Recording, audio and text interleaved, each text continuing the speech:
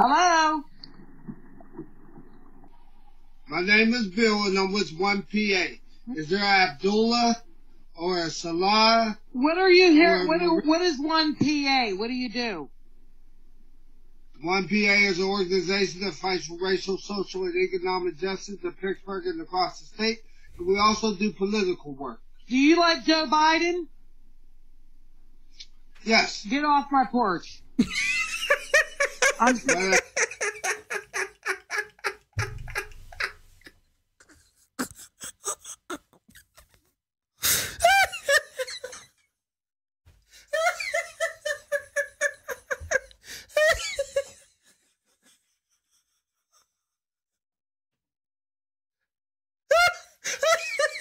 Just straight, straight to the point.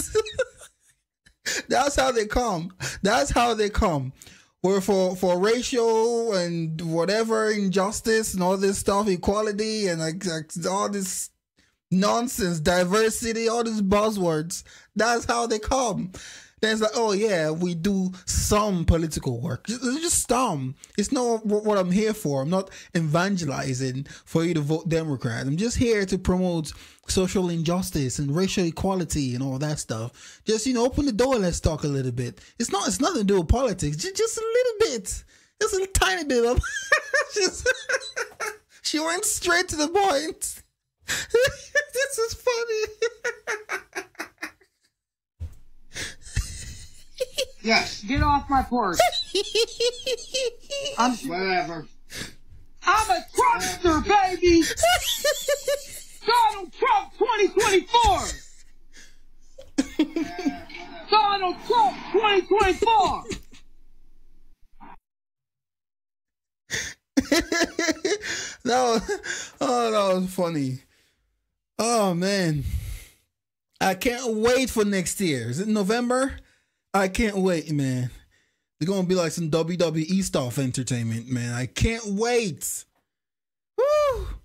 They're gonna pull all the tricks out the bag.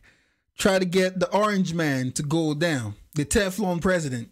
They they're starting now. You can see with the whole fraud trial. You can see with the whole fraud uh, trial thing. That all the charges is being bringing against the dude. They're trying to make sure he doesn't he doesn't run. Man, this was funny. I just hope they don't like do none of that mailing ballot things, and you know they're gonna find another way to screw everybody over. Gonna reach down under the table and pull some stuff out there under the table. You know how they do. Oh, this was good. I needed that laugh this morning.